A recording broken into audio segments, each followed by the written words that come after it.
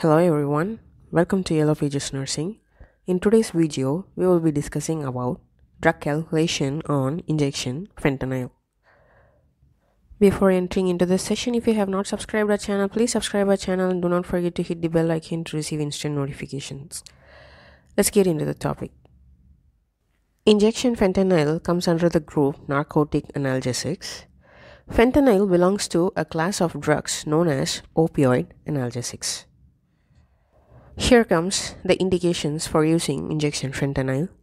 Short-term analgesia during induction, maintenance, and recovery from general or regional anesthesia, sedation, pain relief, fentanyl is used for any pain or discomfort, etc. Now, how is fentanyl available? Fentanyl comes in ampule form. One is 2 ml containing 50 microgram and the other is 10 ml ampule containing 500 microgram. The dosage of fentanyl ranges from 0.5 to 10 microgram per kg per hour IV and we may follow the institutional policies for the dosage. The IV compatible solutions for diluting injection fentanyl are dextrose 5% and normal saline 0.9%. Now, here comes the example. Doctor's order is injection fentanyl 1 microgram per kg per hour. How do we calculate this? Now, how to prepare the infusion? All we need is a syringe pump, a PM line, a 50 ml syringe, compatible solution, and body weight of the patient. And one more important thing is the patient should have a good vascular access for infusing injection fentanyl. The formula for this calculation is desired dose multiplied by quantity multiplied by body weight divided by available dose, which gives ml per hour. Now, Let's do the calculation for the doctor's order using 10 ml of fentanyl ampule first. Using fentanyl 10 ml which contains 500 microgram. Now the drug dilution.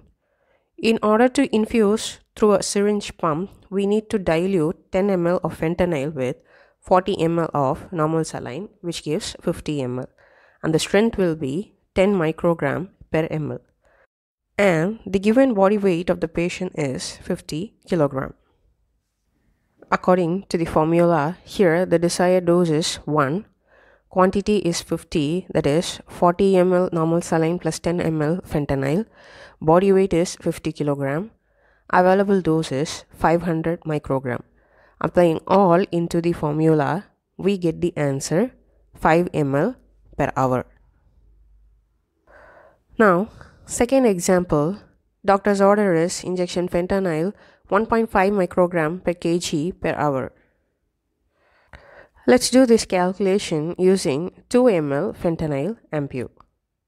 Using fentanyl 2 ml which contains 50 microgram, we have to take 5 ampules of fentanyl containing 10 ml which equals 500 microgram and the drug dilution will be 10 ml fentanyl with 40 ml normal saline giving 50 ml and the strength here is 10 microgram per ml. And the given body weight of the patient is 60 kilogram. According to the formula, the desired dose here is 1.5, quantity is 50 that is 40 ml normal saline plus 10 ml fentanyl, body weight is 60 kilogram Available dose is 500 microgram. Applying all into the formula, we get the answer 9 ml per hour. Here comes few examples for your practice and the answers can be mentioned on the comment box. Injection fentanyl 1 microgram per kg per hour and the given body weight is 70 kilogram. Injection fentanyl 2 microgram per kg per hour and the given body weight is 50 kilogram.